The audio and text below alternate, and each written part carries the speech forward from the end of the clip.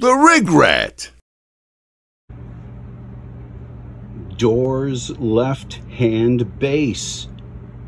Left hand bass, a keyboard with just as your left hand for the bass, just like Ray Manzarek did in the band The Doors. Um, he had a keyboard, Fender Rhodes, um, just a bass key keyboard that was only 30 some keys. And this, what you're looking at, is the MPK225, which is 25 keys. And uh, I'm to show you how to use this with, in this case, the V3 sound module.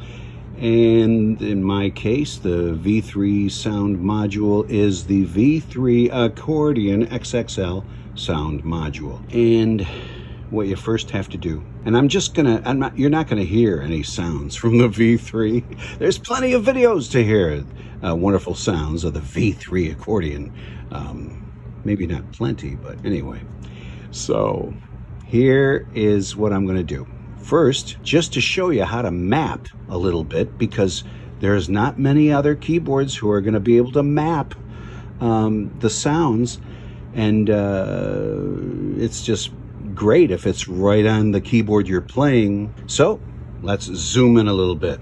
So what you do is you hit preset, you select uh, edit, and currently it's blinking there, but you can change it from now, uh, we already hit pad four, and uh, can, here it says note, program change or program bank. That's all you get for a selection there. You want program bank. So cursor down to the main channel. It's got all this baloney I don't understand, but I don't need to because this will work common.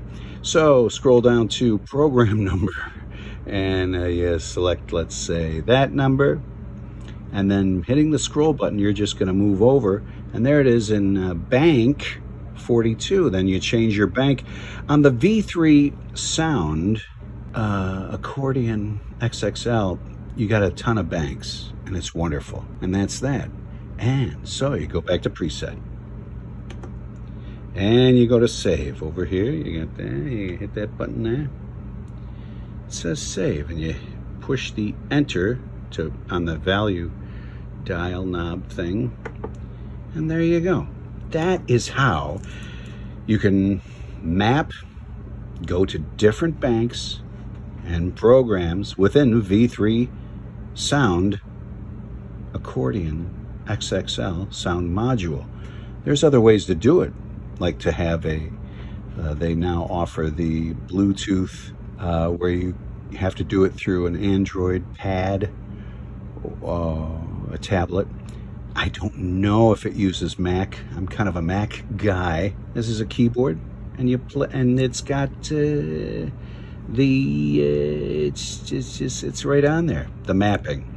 Uh, when it comes to controller keyboards, I don't know if it's so wonderfully cut and dry on other controller keyboards, but that's how it is. If uh, this is one solution I have for trying to emulate to be like Ray Manzarek from The Doors and do a left-hand bass.